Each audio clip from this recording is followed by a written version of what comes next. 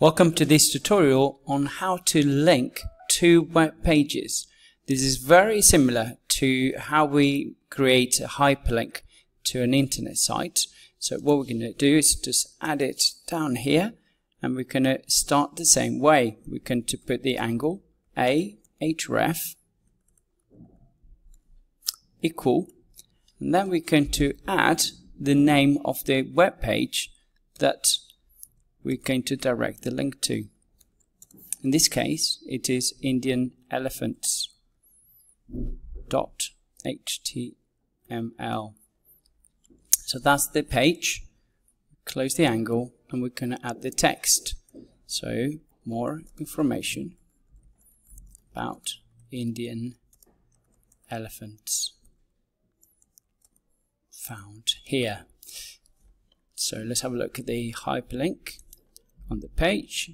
We have it down here, more information about Indian elephants found here. And here it is. That's the link to, which we can change little things. A little reminder how to make a page. So Indian elephant, for example. And we change the title as well on the actual page.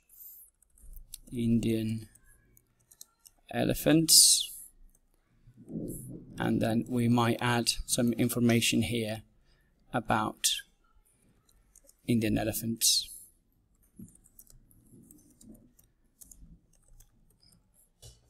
Goes here.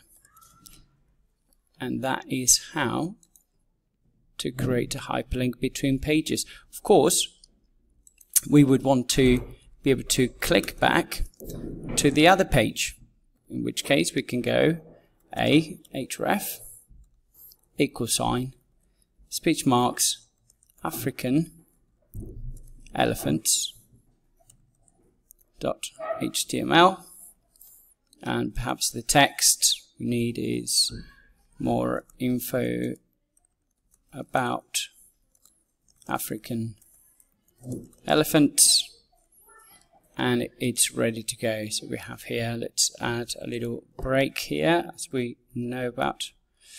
Can add a new line. So more information about African elephants right there. You can see how the arrow changes to a hyperlink hand.